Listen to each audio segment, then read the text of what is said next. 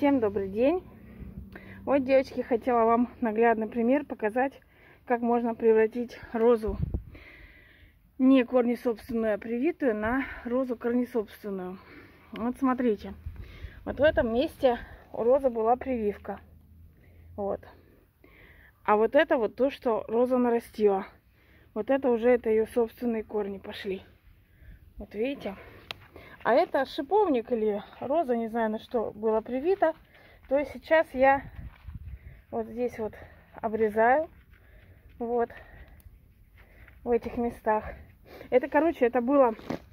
Сейчас рассказываю. Значит, прибой, привой. И вот это были три ветки, которые я углубила. Здесь вот сантиметров, наверное, ну, 30 получилось они углублены. То есть у меня только вот эта вот часть, вот эта часть, она выходила на поверхность земли. И вот это уже пошло, ну, пошли, вон, видите, вот, пошли росточки от нее. Вот. Вот, тут было у меня 4 веточки. Это еще ничего, тут один маленький корешок вот здесь. А вот эти ветки, вот смотрите, какие. Вот еле ее выкопала, блин. Теперь я вот это срезаю. Вот. И у меня получается корни собственной розы, которые я опять посажу углубленно. Вот. Вот. Этот метод посадки мне очень нравится. Больше всего нравится из всех, что я пробовала.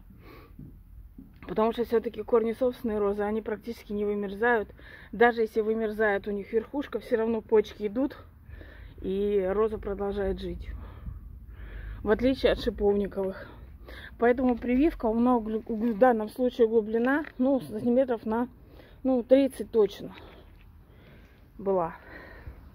То есть, соответственно, плюс корень какой-то был. Это яма глубиной сантиметров 50, как минимум.